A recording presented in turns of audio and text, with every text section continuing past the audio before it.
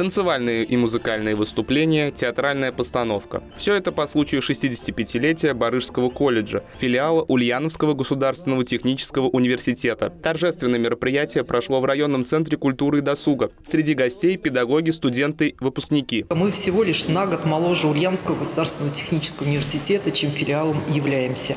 А вообще у нас э, давняя история в нашем учебном заведении, потому что во-первых, колледж располагается в старинном особняке сына э, Акчурина, фабриканта. А во-вторых, это самое старое учебное заведение среднего профессионального образования в городе Баруше.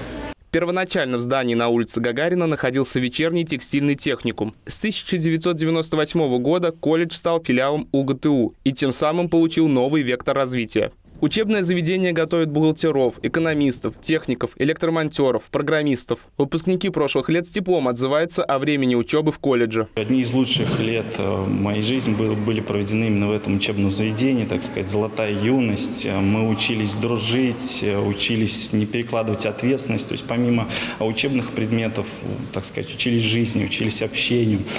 Очень хорошая была, так сказать, внеклассная жизнь. Мы играли в КВН.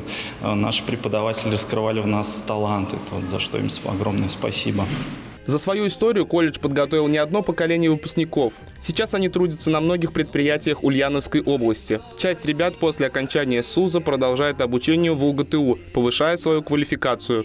Понимаю, что ничего не бывает просто так, и это связано с каждодневным трудом преподавателей, сотрудников, которые учат и жизни, и предметам, и таким образом в целом складывается благополучная 65-летняя судьба очень важного образовательного учреждения.